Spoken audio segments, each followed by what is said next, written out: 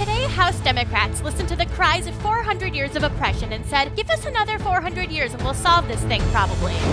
This is not what America should be. The man speaks the truth. This isn't who we are except for our entire history. If we defund the police, who would be stationed at high schools hitting on juniors and seniors? Everything you all are describing is absolutely ridiculous. Thank you. Obviously, we have to defund the police, but do we really have to get rid of the cultural touchstones that glorify police violence? Uh, yeah. Everyone trusts Colin Powell. No one wonders why, finds out more about him, and stops. Is it possible to do anything in this country without dangling a blank check in front of someone?